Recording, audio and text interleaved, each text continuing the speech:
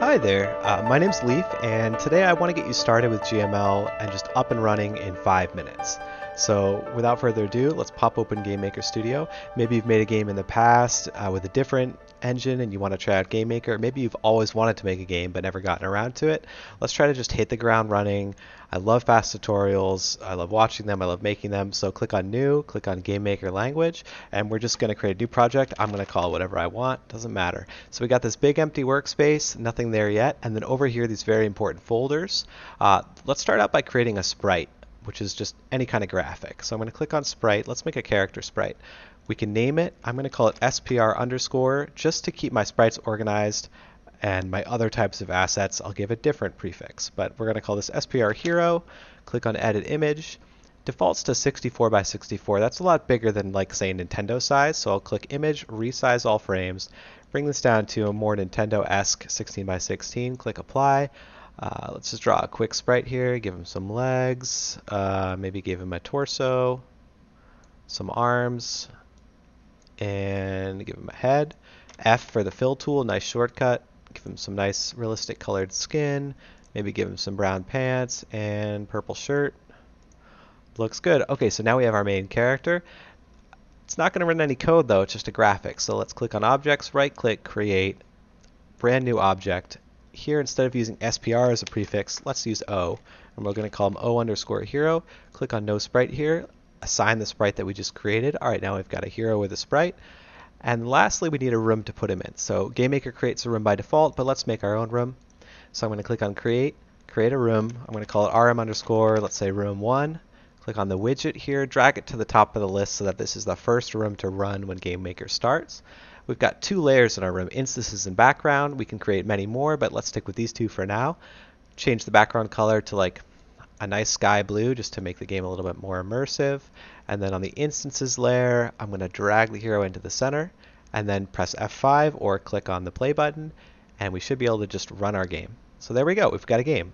Nothing happens when I push the keys, there's no enemies, nothing interesting, but it's a fully running game. So let's see if in these five minutes we can cram in some player input so we can actually move our hero around. So double click on the hero. Let's add some code to it. Click on the add event. And there's two major types of events, create events and step events. These are the ones we will use more than any other. So let's do a create event. Here we can assign some variables. The create event will run one time at the beginning of the room when the object is created. So it only runs once. So I'm going to set our speed, totally arbitrary variable name, and I'm going to set it equal to 5. Note the semicolon at the end of the line. It's a good habit to get into with GML. Next, we need an event that's actually going to run every frame to check to see if the player is pushing a key. So I'm going to create a new event, step event, regular step. And every single frame we have to check to see, all right, is the player pressing the up key, down key, left key, right key, maybe an attack key. So I'm going to create these four arbitrary variables to start, up, down, left, right. I could have named these variables anything I want. I'm just going to use these to store whether or not we're pushing that key. So there's a built-in function in GameMaker called keyboard check, and there's a built-in macro called vkup. Uh, keyboard check basically returns true if this key is getting pressed, or false if it's not. Uh, so let's just do a keyboard check for every one of those keys. So we've got down, left, and right, and these have codes as well. How do I have these memorized? Well, because I use these ones all the time.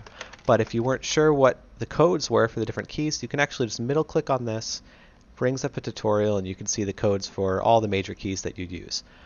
All right, so back into the project. So now we've got the values for are we pressing up, are we pressing down. Let's change this built-in variable called x. It's green, which means it's a built-in variable. And we're going to add to it whatever the right is minus whatever the left is. And same with our y, we're going to add to it whatever the down is minus what, whatever the up is. So if we run the game, we should be able to move our character around. So yeah, I can move my character in any direction, diagonally, pretty cool. But why is that happening? Well, let's see if I can explain it in our remaining time, which is probably like, I'm not looking at a clock, but it's not much. So let's say, let's put it like this, and I'll make it a little bigger so we can see. Um, x, we're adding to x. Let's say right was getting pressed. So right would be true, which is the same as the number 1. So right is getting pressed. And let's say left is not getting pressed. So it would be false, which would be equivalent to the number 0. Well, 1 minus 0 is still 1. So we're saying add 1 to x. Makes sense. So our x value is being incremented by 1 every frame that that's being held down. that explains why we're moving to the right.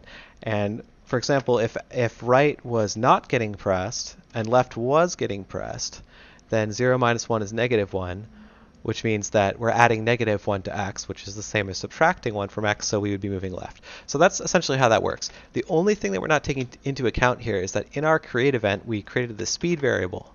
So let's multiply that 0, 1, or negative 1 value by the speed. And by doing that, we're able to scale it with whatever speed variable we assign. When we click the play button again, now we're moving at 5. So there we go. Now we've got a character that moves around. We've got graphics. We've got background color. We have step event, create event in five minutes. I hope this is fun for you. Uh, I love to try to cram in some more cool stuff in maybe another five minute video, maybe even do something crazy like a seven minute video if the concepts get more complex. So have a great day. I hope this gets you started on your Game Maker adventure. Cheers.